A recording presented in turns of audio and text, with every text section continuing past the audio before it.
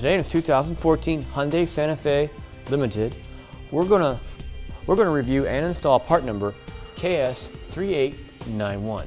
This is a K-Source universal towing mirror that clips on.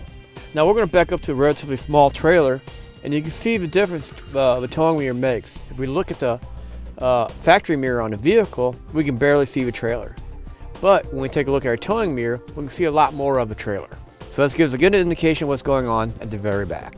Now before we install our mirror, it's always a good idea to make sure your surface is clean first. That way you don't have any uh, bugs, dirt, debris getting rubbed into the finish.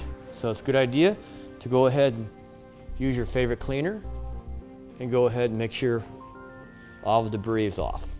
It's also a good idea to go ahead and it's also a good idea uh, to do the same thing to your uh, pads on your towing mirror as well. All right, let's go. What I like to do is start off with one of the straps hooked on. So we'll hook it onto the bottom. And we'll go ahead and put this into place.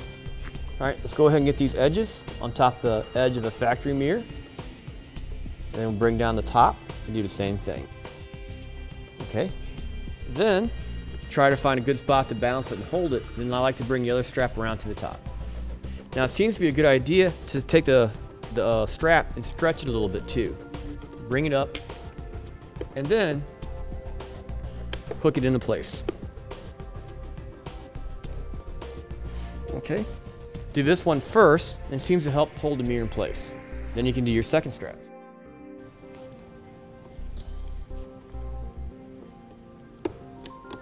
Now, one little trick you can do is actually take the, the base here and scoot it up. Maybe hold the strap in place as well to take up a lot of the slack. Once you have it roughly the position that you want it, then take the ratchet part and tighten it down. That one seems pretty good the way it is. Okay, we can go ahead and put our covers down. And there's a little extra loop right here to put your excess.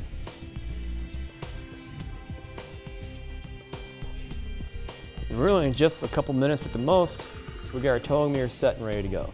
One other thing that's good to know is when you um, adjust your mirror, it's a good thing to do it from the outside and get a grip on this because this does get a really solid grip on your mirror and it probably could move around more than you want. So, and this ball socket here is a really tight fit, so it's good to have a grip on the mirror and then move the towing mirror the way you want it.